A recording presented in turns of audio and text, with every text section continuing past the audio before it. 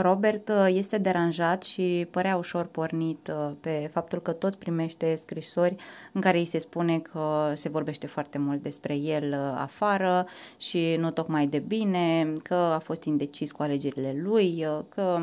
ar trebui să aibă grijă cum se comportă de acum încolo și el uh, îi spunea Biei că o să meargă și la Antena Play să-i spună că nu îl interesează, să nu îi mai aducă informații de afară pentru că pe el îl interesează doar ce se întâmplă în casă și chiar uh, era supărat din cauza aceasta, iar uh, Bia a încercat să îl calmeze, spunea că, sigur, familia are intenții bune, îi uh, vrea binele și că poate l-ar sfătui să fie puțin mai atent uh, la atitudinea lui.